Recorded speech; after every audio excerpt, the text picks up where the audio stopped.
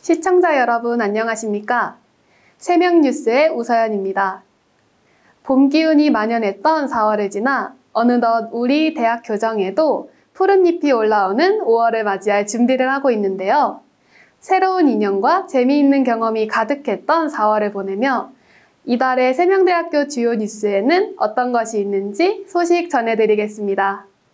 첫 번째 소식입니다. 세명대학교가 전국 최초로 등록금 책임 환불제를 도입하겠다고 밝혔습니다.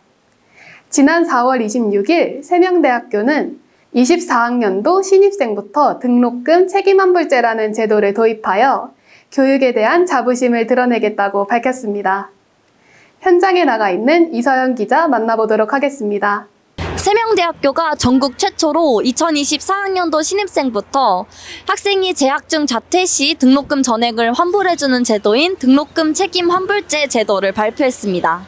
학령 인구 감소로 지역 대학들이 어려움을 겪고 있는 상황에서 세명대학교는 등록금 책임 환불제 제도를 통해 학생들에게 자율적인 선택권을 부여하고 최고의 교육 만족을 선사하겠다고 표명했습니다.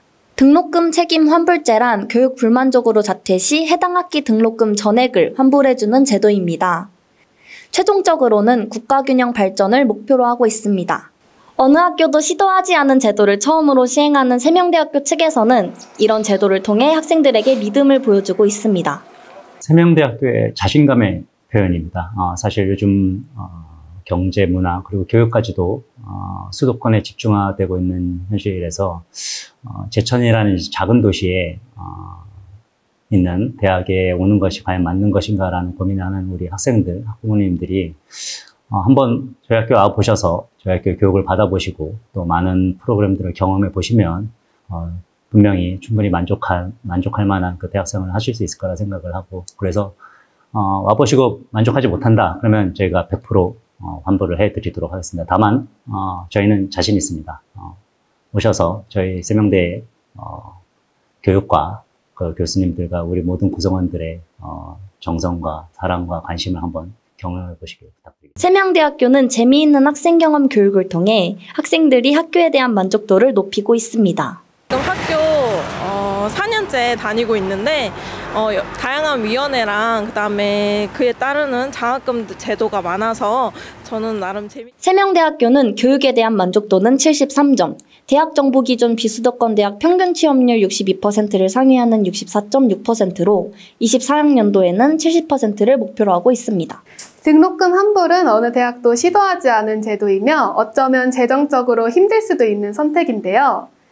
이서연 기자, 교육에 가장 자신 있는 세명대의 후속 처리가 실제로 시행될 수 있는 건가요? 네, 제가 24학년도 학생이라는 가정하에 교육에 대한 질이 마음에 들지 않는다고 판단되어 등록금 책임 환불제를 신청해 보겠습니다. 실제로 등록금 책임 환불제가 시행되고 있나요? 네, 세명대학교는 전공 경험 교육을 위해 실무 체험, 캡스톤 디자인, 현장 실습, 그리고 교양 교육, 체육, 비교과 활동 등 다양한 활동을 지원하고 있기 때문에 학생들의 만족이 높은 실정입니다. 그렇기 때문에 자신있게 제도를 시행하고 있습니다. 네, 이렇게 자퇴 처리가 모두 종료되었습니다. 보시는 것과 같이 등록금도 실제로 환불이 다 되었는데요. 제도를 실제 시행한다는 학교의 자신감을 간접적으로 느낄 수 있었습니다. 이서연 기자. 끝났나요? 이서연 기자. 근데 이거 돈 들어온 거면 이서연 기자. 환불된 건가? 근데 근데 학교 더 다녀야겠는데? 네. 방송이 원활하지 못한 점 죄송합니다. 학령 인구 감소가 수도권 대학 쏠림 현상으로 번지고 있는 지금 앞으로의 상황은 지역 대학만의 문제가 아닙니다. 세명대학교의 등록금 책임 환불제의 정책을 통해 대학의 본질인 교육 문제를 해결하고 지역대학의 입학 인원 증가와 재원 확보 및 궁극적으로 지방경제의 부활을 통해 국가 균형 발전 효과까지 이루어졌으면 하는 바람입니다.